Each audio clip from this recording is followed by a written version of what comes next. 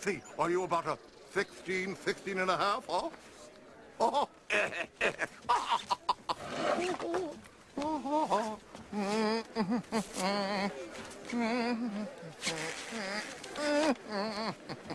Ah, it's a little tight. That's the idea. Oh, would you care for a blindfold?